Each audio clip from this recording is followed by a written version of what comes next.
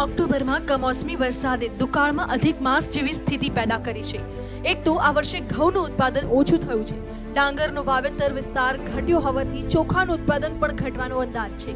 અને હવે ડાંગરની લણણી કરવાની સિઝન આવી, ત્યાં કમોસમી વરસાદ શરૂ થઈ ગયો.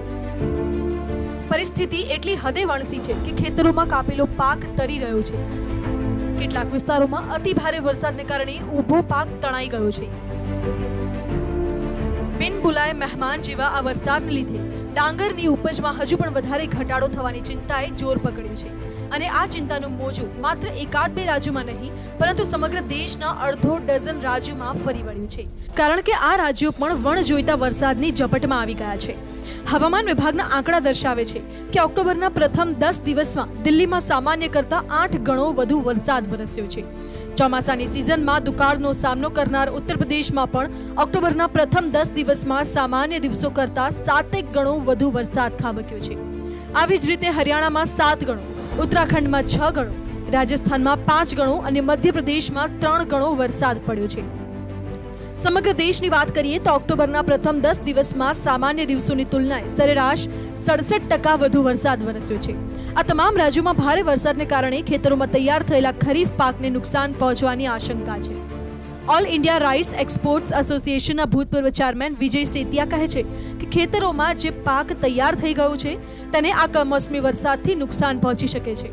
ઉત્તર પ્રદેશમાં ડાંગરની મસૂરી એક હજાર પાંચસો નવ અને સુગંધા વેરાયટીની ઉપજમાં સાતથી આઠ ટકા ઘટાડો થવાની આશંકા છે. જ્યારે હરિયાણામાં પણ એક હજાર એકસો એકવીસ બાસમતી ડાંગરની ઉપજ એકથી દોઢ ટકો ઘટી શકે છે. આ વરસાદથી માત્ર ખરીફ પાકને જ નહીં, પરંતુ રવિ પાકને પણ નુકસાન પહોંચવાનો ભય સતાવી રહ્યો છે. રવિ પાકના વાવેતર પર અસર પડી શકે છે.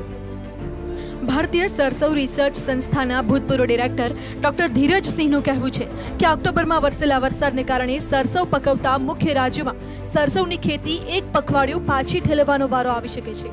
ચાલુ વર્ષે ભારતમાં ઘઉંનું ઉત્પાદન ગયા વર્ષ કરતાં ઓછું થયું છે અને ચોખાના ઉત્પાદનમાં પણ ગયા વર્ષ કરતાં ઓછું ઉત્પાદન થવાનો અંદાજ છે. સરકારી વખારોમાં પણ અનાજનો જથ્થો છેલ્લા પાંચ વર્ષના તળિયે પહોંચી ગયો છે અને અનાજ મોંઘું થઈ રહ્યું છે.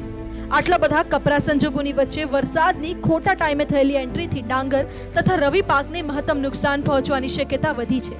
એટલું જ નહીં, રવિ પાકના વાવેતરમાં પણ વિલંબ થઈ શકે છે. આમ ખાદ્ય મોંઘવારીના મોરચે અનેક પડકારો ઊભા થવાનો તખતો ગોઠવાઈ રહ્યો છે.